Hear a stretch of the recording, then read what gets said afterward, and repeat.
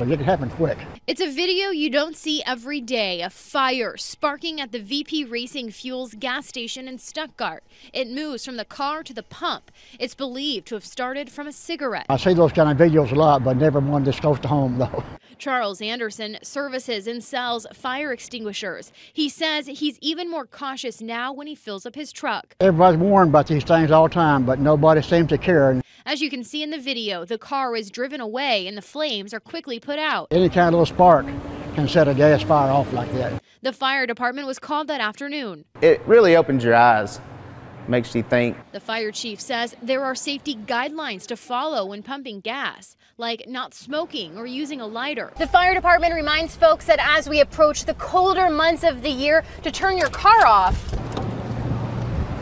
before getting out and pumping gas. There's a reason the signs are there posted for your safety. As the video shows, an everyday task, but extremely dangerous. I'll be more aware of looking who's around me when I'm pumping gas.